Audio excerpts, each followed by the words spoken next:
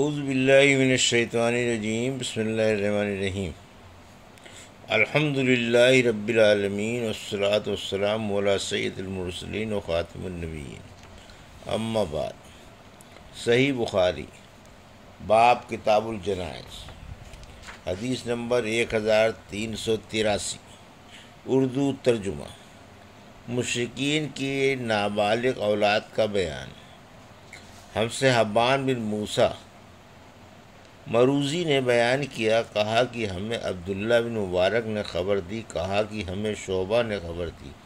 उन्हें अबू बशर जाफ़र ने, उन्हें सईद बिन जबीर ने। उनको इबन अब्बास ने कि नबी करीम ने से मुशरकों के नाबालिग बच्चों के बारे में पूछा गया। तो आप सरसम ने फरमाया, अल्लाह ताला ने जब उन्हें पैदा किया था, उसी वक्त वो खूब जानता था कि ये क्या अमल करेंगे।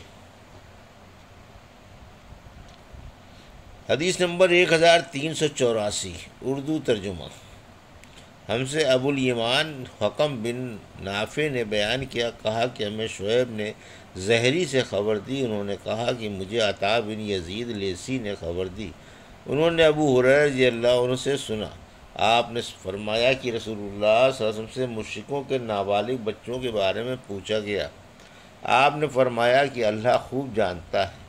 जो भी वो अमल करने वाले हुए। हदीस नंबर एक हज़ार तीन सौ पचासी, उर्दू तर्जुमा। हमसे आदम बिन अबी अयास ने बयान किया, उनसे इब्न अबी ज़ैब ने, उनसे जहरी ने, उनसे अबू सलमा बिन अब्दुलरहमान ने और उनसे अबू हुरैर ने कि नबी करीम वसल्लम ने फरमाया, हर बच्चे की पैदाइश फितरत पर होती है। फिर उसके माँ बाप उसे यहूदी या नसरानी या मजूसी बना देते हैं। बिल्कुल उस तरह जैसे जानवर के बच्चे सही सालिम होते हैं। क्या तुमने पैदाइशी तौर पर कोई उनके जिस्म का हिस्सा कटा हुआ देखा है? हदीस नंबर एक हज़ार तीन सौ छियासी, उर्दू तर्जुमा।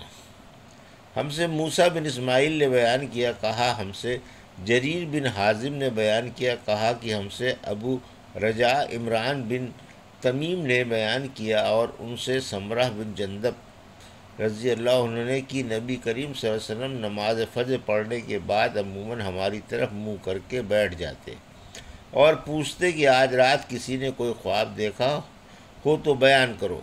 रावी ने कहा कि अगर किसी ने कोई ख्वाब देखा होता तो उसे वो बयान कर देता और आप उसकी ताबीर अल्लाह को जो मंजूर होते बयान फरमाते।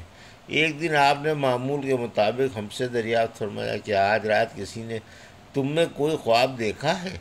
हमने अर्ज़ की कि किसी ने नहीं देखा, आपने फरमाया, लेकिन मैंने आज रात एक ख्वाब देखा है कि दो आदमी मेरे पास आए, उन्होंने मेरे हाथ थाम लिए और वो मुझे अर्ज़ मुक़दस की तरफ़ ले गए और वहाँ से आलम बाला की मुझको सैर करवाई।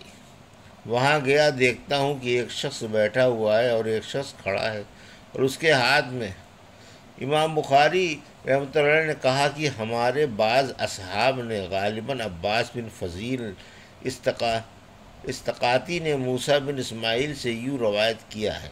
लोहे का आंकस था, जिसे वो बैठने वाले के जबड़े में डालकर उसके सर के पीछे तक चीर देता, फिर दूसरे जबड़े के साथ भी उसी तरह करता था।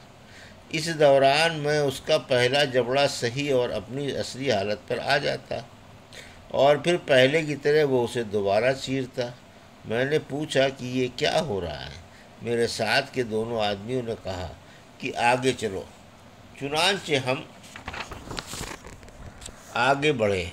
तो एक ऐसे शख्स के पास आए जो सर के बल लेटा हुआ था और दूसरा शख्स एक बड़ा सा पत्थर लिए उसके सर पर खड़ा था। उस पत्थर से वो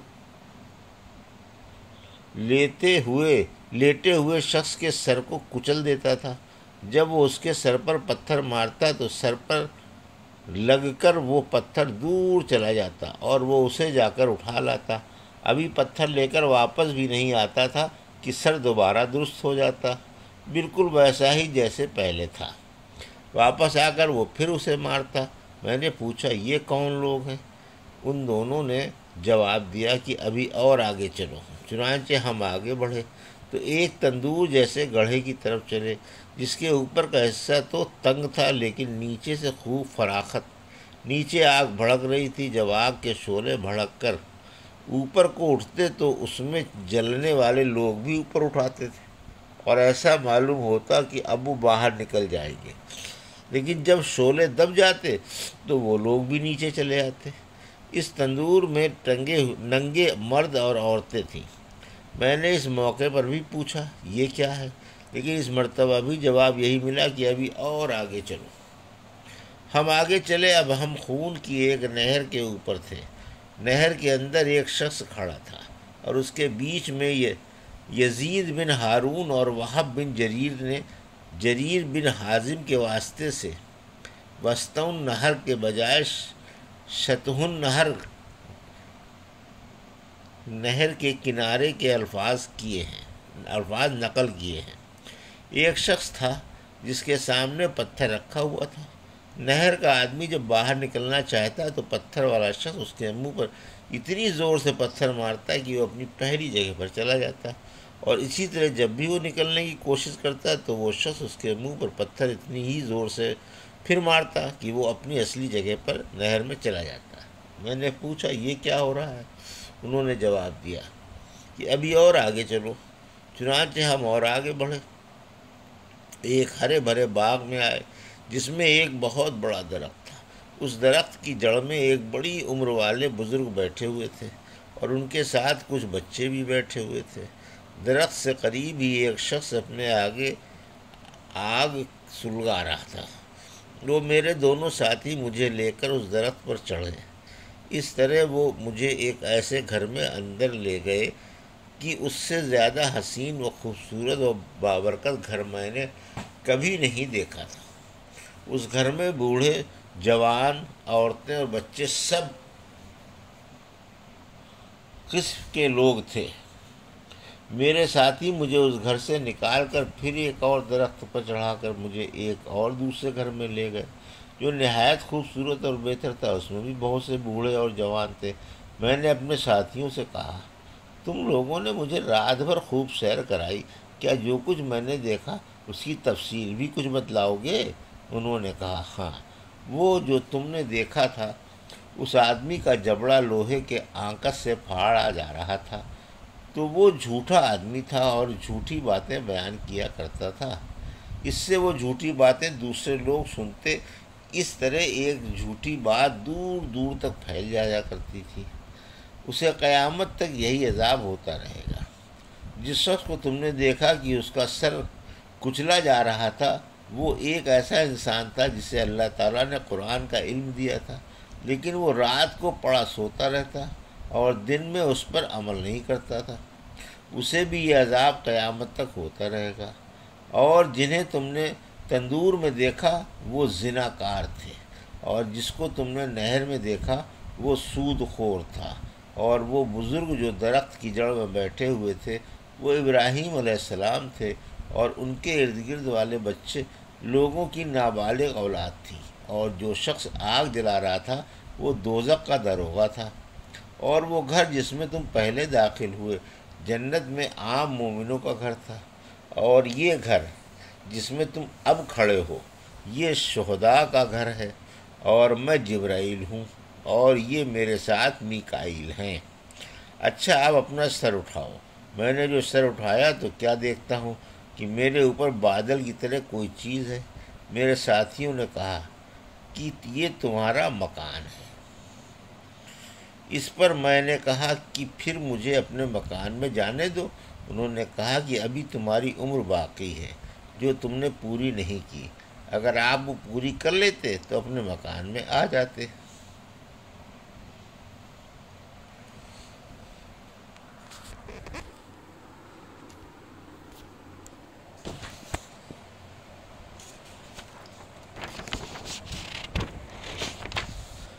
हदीस नंबर एक हज़ार तीन सौ सत्तासी। पीर के दिन मरने की फजीलत का बयान। हमसे मौला बिन असद ने बयान किया, उन्होंने कहा, हमसे वही बिन खालिद ने बयान किया, उनसे हशाम बिन अरबा ने, उनसे उनके बाप ने और उनसे हज़रत आयशा रज़ी अल्लाह ने कि मैं वालिद माजिद हज़रत अबू बकर की खिदमत में उनकी मर्जुल मौत में हाजिर हुई तो आपने पूछा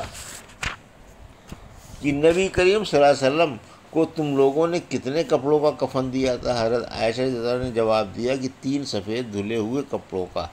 आपको कफन में कमीज़ और अवामा नहीं दिया गया था। और अबू बकर ने उनसे ये भी पूछा कि आपकी वफ़ात किस दिन हुई थी? उन्होंने जवाब दिया कि पीर के दिन।